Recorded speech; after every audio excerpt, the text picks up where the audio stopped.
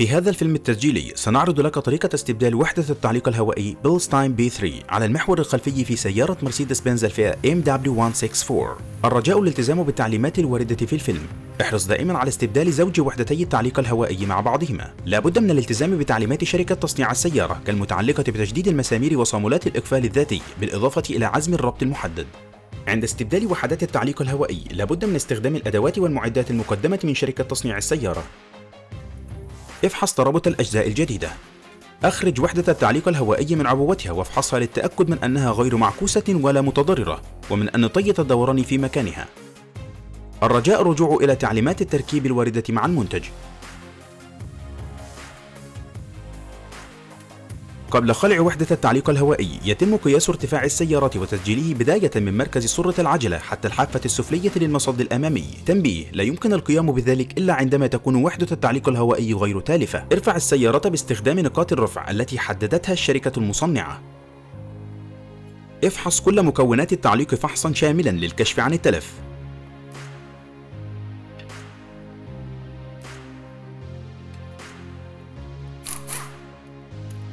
اخلع العجلات. وصل جهاز التشخيص وفعل الاتصال. أفرغ الهواء من وحدة التعليق الهوائي بشكل كامل بمساعدة جهاز التشخيص. أوقف الإشعال. أخرج مفتاح التشغيل دائما قبل العمل في وحدة التعليق الهوائي. احرص دائما على ارتداء المعدات الواقية للازمة عند العمل في نظام الهواء المضغوط. نظف وصلة أنبوب الضغط الموجودة أعلى وحدة التعليق الهوائي. قم بإرخاء أنبوب الضغط بحذر حتى تسمع صوت خروج الهواء وانتظر حتى ينخفض الضغط المتبقي تماما. ثم اخلع أنبوب الضغط تماما واحكم سده. تأكد أنك لا تقم بثني أو لي أو سحق أنبوب الضغط. اضغط على مشبك وحدة التعليق الهوائي من ناحية أرضية السيارة باستخدام أداة مناسبة.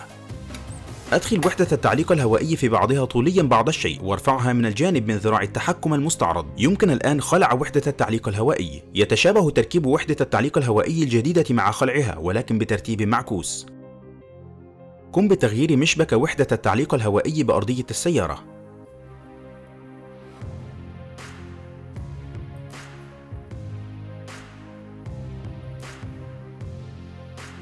اخلع ملصق الأمان قبيل التركيب. خلال التركيب أحرص على عدم عكس اتجاه وحدة التعليق الهوائي. ركب وحدة التعليق الهوائي مع جعل البروز في مركز ذراع التحكم المستعرض السفلي وتفقد استقرار وحدة تعليق الهواء في موضعها الصحيح. قم بتعشيق وحدة التعليق الهوائي بالمشبك بصوت مسموع. قم بإرخاء مسمار السد في وصلة أنبوب الضغط في وحدة التعليق الهوائي واخلعه بحذر. اخلع مشبك حلقة القطع الذي تم تركيبه في المنتصف. استبدل مسمار السد وحلقة القطع الموجودين في أنبوب الضغط في السيارة باثنين جديدين. أحرص على المحاذاة الصحيحة لحلقة القطع.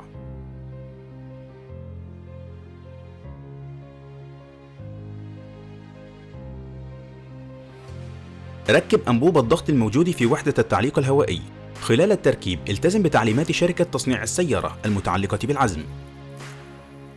تأكد أنك لم تكن بثني أو لي أو سحق أنبوب الضغط.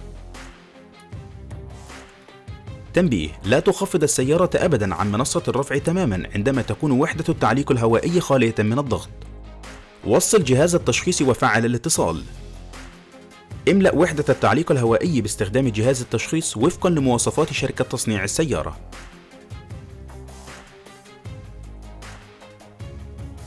افحص وصلة أنبوب الضغط للكشف عن التسرب.